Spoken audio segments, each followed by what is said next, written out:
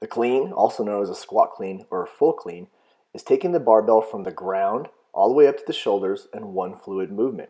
In theory, you should actually be doing this and catching it in a deep squat, but it's common when the load is light or when athletes are new is to catch it up high and then ride it down into the squat after the fact.